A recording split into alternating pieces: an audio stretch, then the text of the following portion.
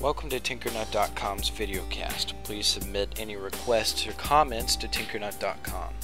In this video I'm going to show you how you can take a regular sized picture and blow it up to the size of a poster.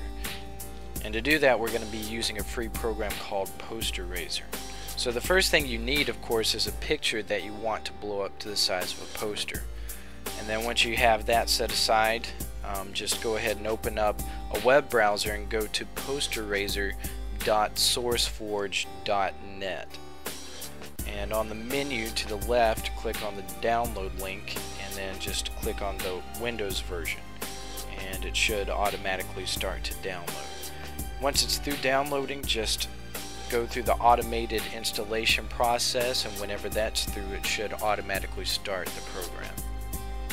So the first thing you want to do is select the image that you want to turn into a poster and then click next.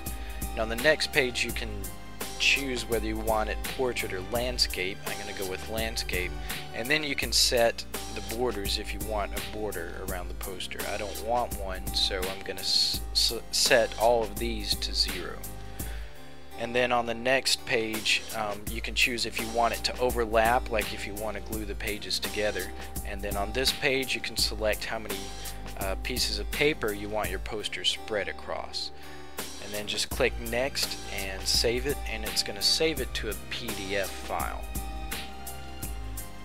And then it should automatically launch the PDF file.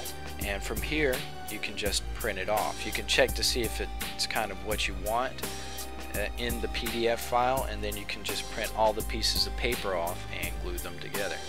Alright, well that's it for this tutorial. For more go to tinkernut.com.